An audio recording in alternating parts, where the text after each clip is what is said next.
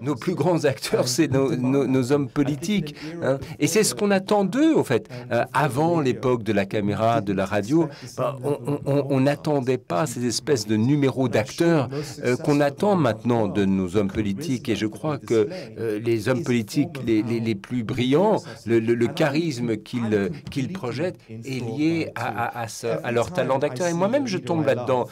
Quand je vois un, un homme politique qui, me plaît personnellement, indépendamment de sa politique, j'ai tendance à le, suivre comme un groupie avec un, sourire béat euh, aux, lèvres. Hein, c'est cette espèce d'attraction qu'on a et, c'est ça le, le, le, charisme. Et lui, il s'en sert à merveille. Enfin, on voit que. Et c'est ça qu'on essaie de dire.